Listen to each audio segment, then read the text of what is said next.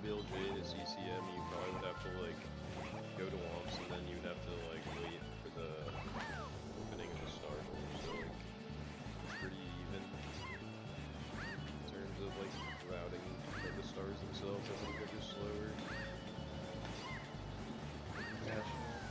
Which is why it'd be like 9 for 120 probably, because you have to do those stars no matter what.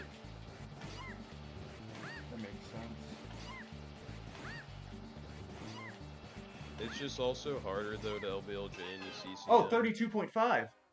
Oh, let's go.